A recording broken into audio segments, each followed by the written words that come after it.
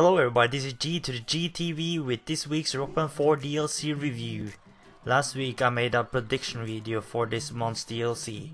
And I said in that video if One Direction was to get a pack, people would probably go insane.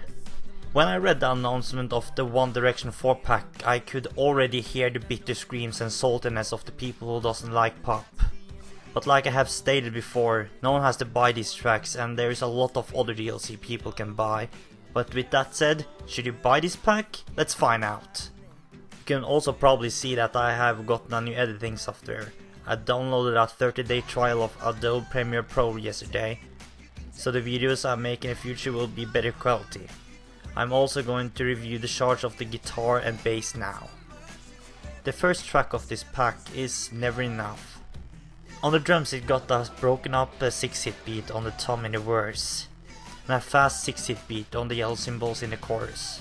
There is fills with some fast double hit on the snare and tom pads that is a bit fun in the end of each chorus to make it a little less repetitive. I love 6-hit beats, but this song is a bit too repetitive to say it's fun to play on the drums. I would give it a 4.5 out of 10 on the pro drums. On bass however this song is very bad. It's the same four sustained notes over and over the whole song, with some really long breaks. Don't buy this song if you're a bass player. I can't give this anything else than a horrendous 1 out of 10 on bass. On guitar this song is actually very fun. The verse has some simple single notes, chords and some hammer-ons. The chorus however is a little simple with some long single note sustains, with a few hammer-ons. But where this song really shines through is the end of each chorus where there's a long hammer-on part that I really enjoyed. I give this a 6.5 out of 10 on guitar. In summary of Never Enough, I would say it's good on guitar, okay on drums and terrible on bass. Again, don't buy this if you only play the bass, it's really boring and bad, and it felt like I was playing on easy when I was playing on expert. I will give Never Enough a total score of below average 4 out of 10.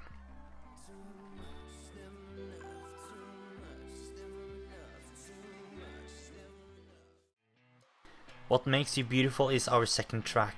You play a lot on tom pads in this song and have a really fun cymbal beat as a second part of the chorus. The song also have a very fun and challenging beat at the beginning of the choruses. The verses is okay, with some play on the tom pads. There is just a simple 4 hit beat throughout the whole song, but the mix between cymbal and tom play is very fun, and I have no problem recommending it. I will give it a 6 out of 10 on the pro drums.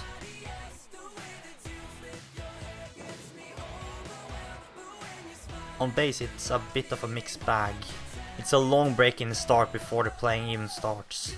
And even though some parts are fun to play, others are very very mediocre. There is also an even longer break before the last chorus, so I don't know if I can recommend it for bass players. I will give it a 3.7 out of 10 on bass. Song has a lot of slow chords on the guitar, and more or less the only fun parts is at the end of each chorus where there is a single note highway. The bridge before the last chorus also has a fun riff, but it doesn't really save the song.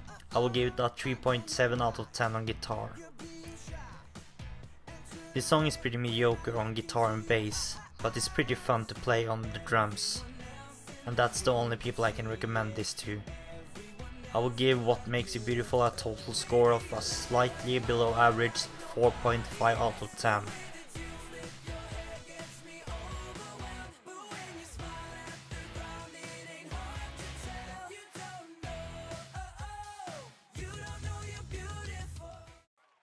Our third track of this week is Story of My Life. This is by far the worst song on drums this week. The intro is a blue tom pad roll that lasts well over a minute of the song. I was bored out of my mind by that time.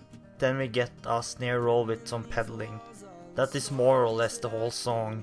There isn't really any fills and it's very repetitive. There is also a break before the last chorus. I give this a 3.3 out of 10 on the pro drums. There's actually some chords in this song and the next one on bass, which is unusual, but that doesn't mean the song is fun on bass. Most of the song is long sustained chords. There are some parts of the chart that has some hammer-ons that is fun, but that doesn't save the song's repetitive and boring chart. I give it a 3.5 out of 10. The song on guitar starts out pretty tough with some single notes mixed in with hammer-ons. After that you get a fun part with single notes and some sustains. The chorus is single noted sustains again, which is disappointing since the rest of the song is pretty fun to play. I wish it would have a little more exciting chorus. I give this song a 5.3 out of 10. Story of My Life is okay on guitar, but pretty mediocre on everything else. I give it um, total score of below average 4 out of 10.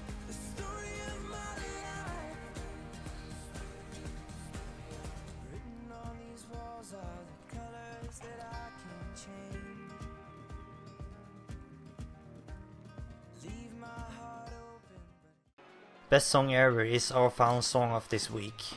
And on drums it's a slow 2 hit beat with a real tough yellow cymbal roll at the end of each chorus. It doesn't last very long each time it comes though. And the song got some nice fills, especially at the last chorus. Some parts of this song is very ordinary, but the fills and the beat is fun to play so I do recommend it. I give it a 6.3 out of 10. This song is probably the best bass song of this week, with some fun hammer-on in the verse. The chorus however is kinda boring with some sustained chords. The verse is uh, the best part of the song, but even if it's the best bass song of this week, it doesn't really shine through and become real fun. I give it a 4 out of 10. This is by far the hardest song this week to play on the guitar. It got 3 parts that is a crazy hammer-on section, but sadly the rest of the song is pretty simple and boring, with chords and sustains.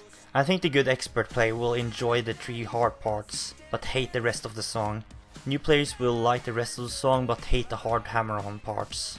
So I don't really know how to recommend this to. You. I think both type of players will get annoyed by this song. I will give it a 4.3 out of 10. Best song ever is ironically the highest scored the song this week so I guess it was not lying. But it's very average and I can't give it any higher total score than an average 5 out of 10.